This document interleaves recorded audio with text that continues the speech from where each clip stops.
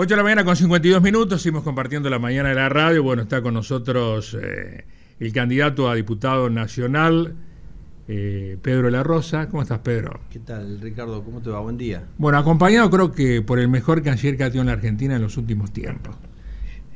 Y candidato a diputado nacional eh, por Santa Fe. Por Santa por Fe. La, por la misma lista que vos llevamos nosotros. Inmerecida, pero gracias. ¿Por qué?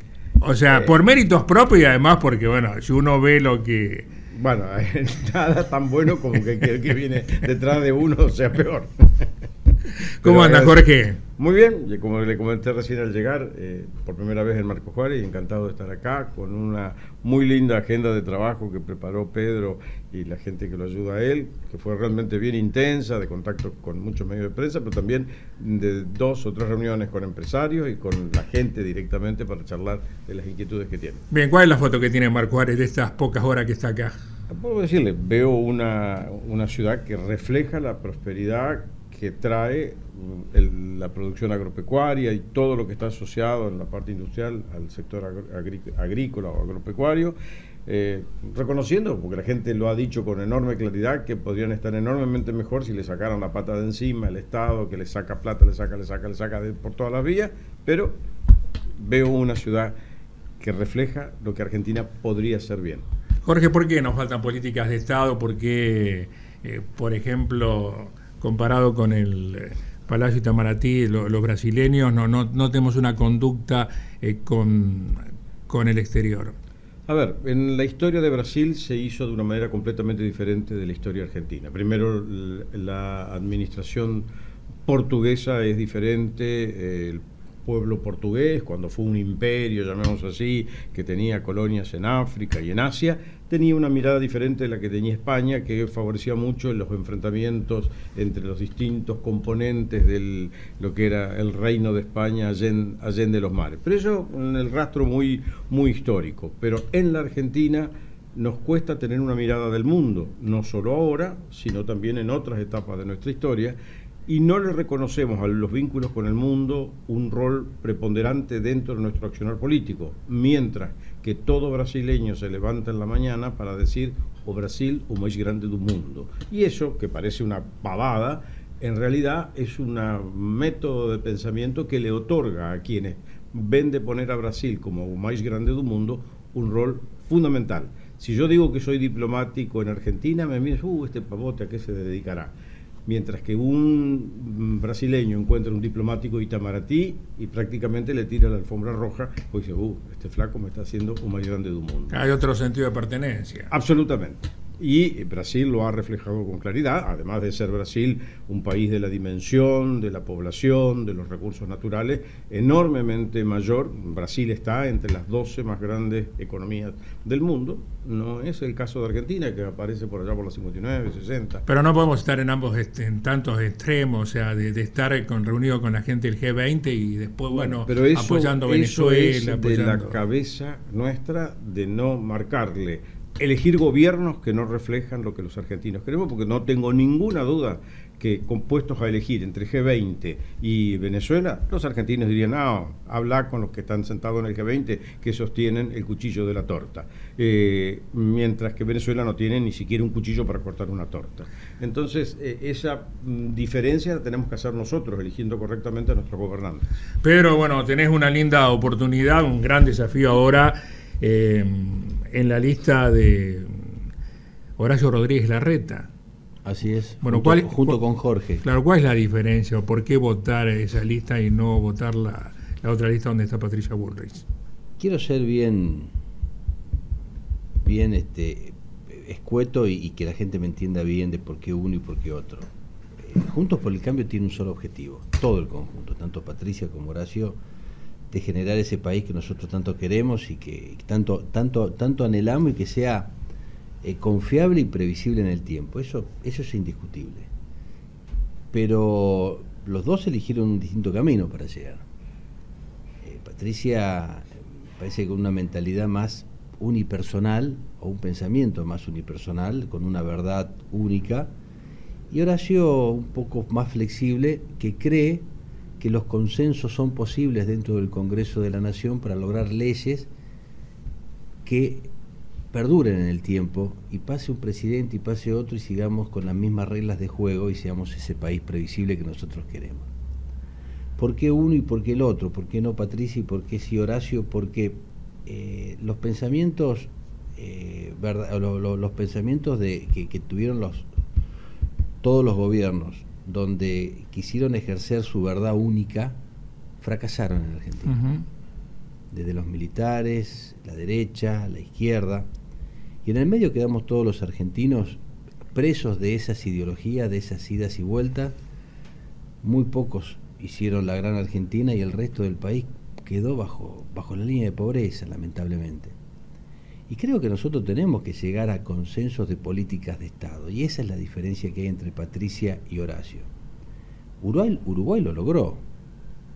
Eh, la calle Herrera se juntó con Pepe Mujica, uno de derecha y el otro era Tirabomba, era Tupamaro era joven, y sin embargo hicieron un, un pacto de gobernabilidad con políticas de Estado y hoy Uruguay rebosa de institucionalidad y nadie puede discutir de que si yo pongo un emprendimiento con las reglas de juego que tiene, van a ser las mismas ahora y dentro de 20 años.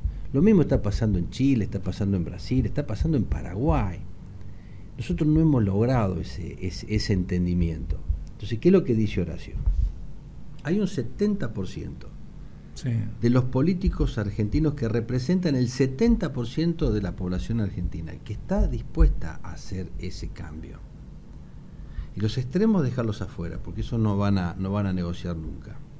Pero ahí está el partido, el peronismo federal, está el socialismo, hay sectores del sindicalismo que se están dando cuenta que si no cambian las leyes laborales, el trabajo informal le va a ganar dentro de poco al trabajo formal y se quedan afuera del sistema. Entonces, la diferencia es esa. Ese es el trabajo que tenemos con Jorge cuando lleguemos al Congreso de la Nación. si, tenemos esa oportunidad, le vamos a dar un arma tremenda de mucha fuerza política y de mucho músculo al, al presidente de la Nación para que empiece a aplicar los cambios necesarios que necesitamos en este país. Yo estuve en la rural de Palermo con, con Luis Picad, el referente de, Patricia en la provincia de Córdoba, candidato a diputado nacional también, y yo veo que la esencia es la misma, pero en lo que respecta a la metodología, él está absolutamente en contra de ampliar el abanico y aquellos que comparten ideas, por ejemplo, en el caso de, decir, a ver, se puede incluir en una futura etapa la posibilidad de gobernadores que y él dijo, no, absolutamente no. Yo veo que ustedes son tienen más apertura en todo ese tipo de consensos. Y hay un elemento fundamental. Primero que él tiene un modelo de país que lo viene llevando adelante desde que se metió para crear el PRO y lo llevó adelante apoyándolo a Macri o trabajando junto a Macri. Por los ocho años que estuvieron juntos, primero como eh, Macri jefe de gobierno, los ocho años que eh, viene llevando él, el acompañamiento de la presidencia, siempre con un modelo de país que es básicamente completamente opuesto a lo que tenemos hoy, que tiene reglas específicas y sobre todo en el plano económico, pero que además a lo largo de más de 16 años, tanto Macri como Horacio y particularmente ahora Horacio, han sabido crear equipos para llevarlo adelante, en las áreas que sea. Yo vengo del área que tiene que ver con la política exterior, pero yendo por los grupos de trabajo, la gente que lo está acompañando, preparándose para el 10 de diciembre, sin duda hay gente de una enorme calidad en cada uno de los sectores que aseguran que las ideas se puedan concretar con gente honesta, alejadísimos todos de la corrupción y que la van a llevar adelante porque entienden que tenemos que tener un país distinto porque este que tenemos se nos acabó. Ustedes van a trabajar en el Congreso por el tema de bajar retenciones, porque no hablemos de eliminarlas, pero sí bajarlas por lo menos porque están los dos en, representando a provincia de corazón productivo. Es ineludible. El campo dice, macho, yo ya no aguanto más esto, y, eh, no planto, porque lo que yo planto me lo sacás vos eh, con retención, con impuestos, con eso.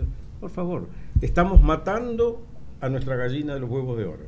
Y el que tiene el dueño de gallinero dice, si es necesario, yo no lo hago más. Entonces, una pregunta para los dos. ¿Cómo se hace para motivar, para incentivar en el buen sentido de la palabra a la gente para que haya a votar en las pasos? Porque, o sea, las últimas elecciones vemos que la afluencia de, ciudadanos eh, ha decrecido notoriamente.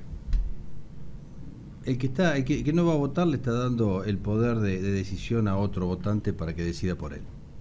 A ver, esa es la. Claramente, el que no va a votar le está dando el poder de decisión a los que están ahora, para que se queden ahí Si le gusta que se queden ahora, los que están ahora, no vayan. Bueno, ayer festejaron, ayer eh, apagaron la, torta del primer cumpleaños de Sergio Massa como ministro de Economía, arrancó con el 65% de inflación, estamos en el 130, o sea que, esto es lo que algo creció en la Argentina. Esto es lo que le llama la atención al mundo.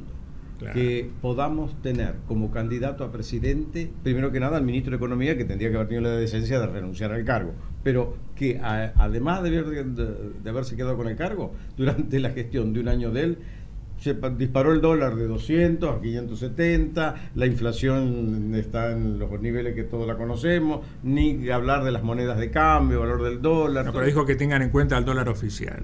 Ah, sí, sí, que, es uno que usa él para dárselo a sus amigos y con eso cambia, por favor. No, no, pero ahora va a bajar después la, la inflación cuando él sea presidente. Me imagino, como lo, viene preparando desde ahora. Mm, ahora, hemos vivido en, usted que tiene tanto, tanto mundo, una historia en la Argentina con un presidente que prácticamente está dibujado, desdibujado totalmente? Bueno, eh, es como una acentuación del modelo que hemos creado. Mm, digamos, todos recordaremos, creo que por edad, la tuvimos a María Estela Martínez de Perón, que era heredera del, del, dirigente Juan Domingo Perón, y era una mujer que no, no distinguía el blanco del negro la tuvimos de presidenta. Cayó finalmente en un desastre eh, de, represión y demás. Con un ministro plenipotenciario que era José López Rega. que era, eh, se definía ante el público él mismo como un brujo. Como un brujo, Entonces, eh, si ya lo tuvimos estos 30 años atrás, este hombre desdibujado es como una réplica del pasado que nunca terminamos de superar. ¿Qué es lo que tenemos que hacer? Por eso tenemos que dar un viraje completo y se necesita una dirigencia totalmente diferente para girar y volver en sentido contrario. Pero hoy parece que es la única salida de esto que viene. O sea, que, la gente vote, vote distinto, vote Junto por el Cambio. Junto por el Cambio tiene gestión. Junto por el Cambio tiene la forma de salir de este paso. Nosotros, supuesto, alentamos la figura de Horacio porque los 16 años de administración que tiene la ciudad de Buenos Aires así lo demuestran. El ciudadano de Buenos Aires hoy goza de buena seguridad, gracias a la política de, eh, de, la policía que él hizo. Hoy la, ciudadanía de Buenos Aires goza de buena, de buena salud y de buena educación. Gerardo Morales, su compañero de fórmula, gobernador de Jujuy, eh, la dio vuelta a Jujuy. Nosotros no, no, no, tenemos dimensión acá en Marco Juárez ni en la provincia de Córdoba de cómo gobernó Gerardo Morales esa provincia, a pesar de los grupos paragubernamentales eh, alimentados económicamente por este gobierno nacional para que fracasara su gobierno. Y sin embargo se mantuvo. Firmeza no falta. Demostrar que hemos administrado bien, eh, incluso los, los candidatos a diputados de nuestra lista, los primeros tres candidatos, son intendentes uno de La Falda, otro de, otro de Montecristo y yo acá de Marcos Juárez, que hemos sido exitosos, sabemos de lo, lo, lo, lo, que necesitamos para poder gobernar y cómo tiene que ser la administración. Creo que es el cambio que nos merecemos. creo, creo que lo, que lo que pasa en Buenos Aires, lo que pasa en Marcos Juárez, lo que pasó en Jujuy, lo que está pasando en La Falda, creo que se puede replicar en toda la República Argentina. Y fundamentalmente mm, terminar con esta tragedia, porque la tragedia económica deviene de un gran problema cultural, cambiar la cultura de, valores, la, cultura de, de subsidio, la, preventa, al trabajo, claro, exactamente. Devolver la cultura al trabajo. Y, el mérito. Sí, elegir a los mejores y promoverlos. Ahora, eh, hay que hacer un cambio que no va a ser fácil porque hay todo un sector muy importante de población que se ha acostumbrado a no trabajar y recibir subsidio a cambio de ir y aplaudir o llenar una plaza eso no va a poder seguir siendo porque se nos acabó la plata, porque inclusive lo que le dan a ese señor como subsidio para ir a aplaudir son tres billetitos impresos ayer que cuando va al almacén no le sirven para comprar ni un, ni un saco de leche. Se, lo dieron al abuelo, se lo dieron al hijo y se lo dieron al nieto. Está bien, pero tuvimos con el abuelo un país rico que dilapidó gastando un padre de esa película que la venía galgueando y un hijo que vive en la mentira. Jorge, un orgullo que haya tenido acá, para nosotros un gusto. Por favor, gracias por invitarme. Y linda la radio, ¿eh? ¿Le gusta? Ah, elegante. Y no lo hemos podido invitar a café porque llegó casi sobre la hora. Eh, Pedro, gracias por venir. No, gracias Ricardo. Estamos esperando. ¿En qué lista están? ¿Cuál es el número? Para que la gente los identifique bien. Yo estoy en la lista de Puyaro en Santa Fe. Nunca sé bien el número. Soy un bueno, bueno, nos está escuchando gente en sí, Antron, sí, en Cañada. Por supuesto, sí. Y nosotros en la de, también la de Horacio Rodríguez Larreta, junto con este, Javier Dieminger, Verónica Gazzoni y los candidatos, por supuesto, del Mercosur. Y Búsquelo la- a sí. Pedro de la Rosa en la lista que lo encuentra rápido. Bueno, y la gente, sobre todas las cosas, que, que vaya, que vaya a votar. sí. De todas maneras, hoy aprovecho la, la- la oportunidad para este, comunicar que viene Horacio ahora a la mañana. a- En un ratito. En un ratito a- al Cruz San Martín. Ahí vamos a hacer un- una exposición de todos los proyectos que hay y, y después, bueno, seguiremos con la agenda proselitista. Bueno, que sea una linda y gran jornada. Muchas gracias. gracias. Ricardo.